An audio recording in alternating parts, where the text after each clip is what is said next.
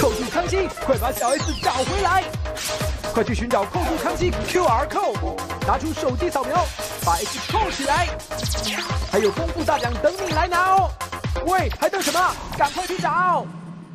再来看到单纯的校园，竟然办起了情色派对吗？在新竹市最近有家夜店新开幕，就利用我们科技大学一技系的名字制作了派对的海报，但是上头的文字呢十分的不雅，而且夜店还把这个海报就张贴在学校附近，让校方是非常生气，要怒告夜店业者妨害校誉。电线杆上、大马路旁、科技大学周边，到处都是这些文字煽情又有清凉照片的夜店宣传海报。学校人员一张一张的把它们撕掉，好几次，真的是很无奈。因为新竹一家新开幕的夜店制作海报上面，不仅写着欲望联谊、身体检查等令人想入非非的谐音字，还有裸露的图片，让学生看得脸红心跳。不太好啊，对啊，就是。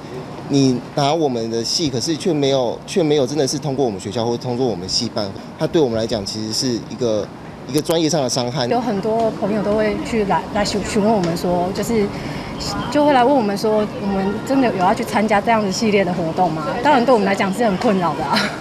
对，而且除了张贴海报，夜店夜整个开着贴满这些海报的宣传车到学校附近做宣传。他的啊，这个这个。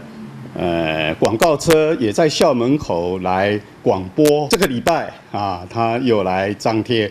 啊，在凌晨，那我们的警卫发现，现在我们已经走上这个啊有提告的这种啊这个这个程序。不过业者说，海报是学校系上学生向夜店接洽，说月底要举办舞会，请业者设计海报，内容都有让学生先看过。